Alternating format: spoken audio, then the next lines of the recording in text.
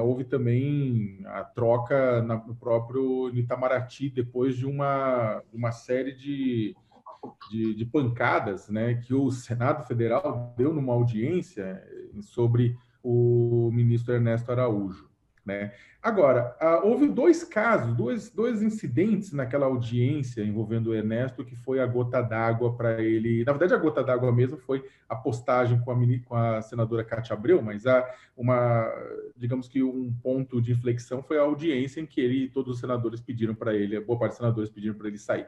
Só que houve um outro incidente naquela audiência que o assessor especial da presidência da República, o Felipe Martins, ele fez um sinal né, um sinal que foi visto por uns como um sinal obsceno e por outros como um sinal de supremacia branca, enquanto o presidente do Senado, Rodrigo Pacheco, falava. E aí agora o Senado resolveu é, soltar uma, uma moção de censura, uma moção de repúdio contra o assessor.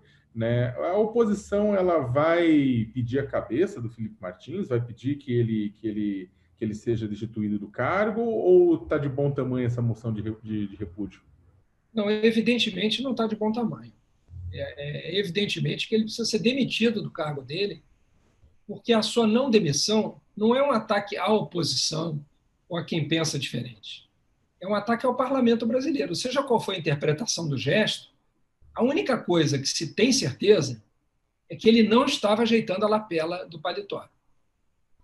Pode ter sido um gesto supremacista, pode ter sido um gesto obsceno, ele precisa explicar o que quis dizer com aquilo. Ele só não pode dizer e tratar todos como idiotas que ele estava ajeitando a lapela do paletó.